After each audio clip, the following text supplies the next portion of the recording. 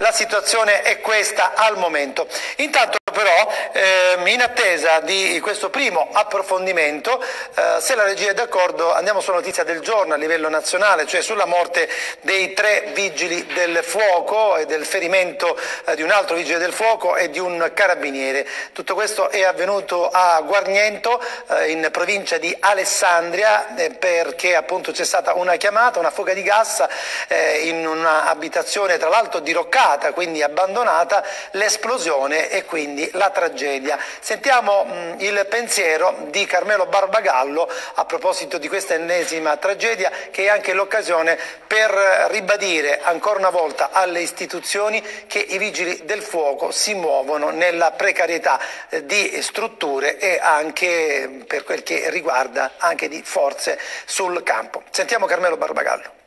Tre colleghi morti ad Alessandria a causa da un'esplosione a quanto pare causata di natura dolosa.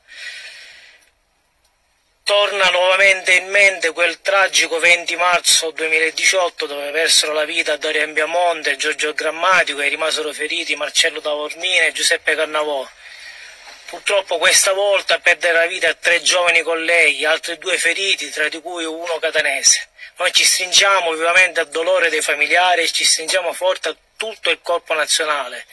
Ricordiamo che noi vigili del fuoco siamo totalmente abbandonati dallo Stato, non abbiamo una copertura assicurativa, non abbiamo INAIL, siamo quelli delle pacche sulle spalle, ma oggi il nostro dolore vale più della polemica, noi non possiamo accettare che dei lavoratori non ritornino più a casa.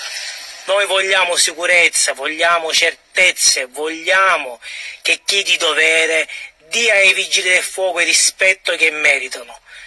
Ci stringiamo nuovamente con tutto il cuore vicino ai familiari che attualmente stanno soffrendo questo gravissimo lutto. Queste dunque le parole accorate di Carmelo Barbagallo che fa parte del sindacato regionale della USB Vigili del Fuoco. Torneremo a parlare, come abbiamo sempre fatto all'interno dell'informazione raccontata, delle questioni legate all'emergenza nella quale si dibattono appunto i Vigili del Fuoco, soprattutto a Catania ma anche in altri distaccamenti della provincia, oltre che della regione.